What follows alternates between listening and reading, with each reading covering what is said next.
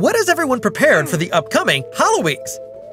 World of Wonder has already added some new HalloWeek-style objects to the editor. For those that wish to build a castle map, be sure to try out the set of castle objects, including roof, windows, and gate. Add textured brick walls, and create your own personalized castle. Decorate it with some jack-o'-lanterns, wooden barrels, and lots of candles to really make those trick-or-treaters feel welcome.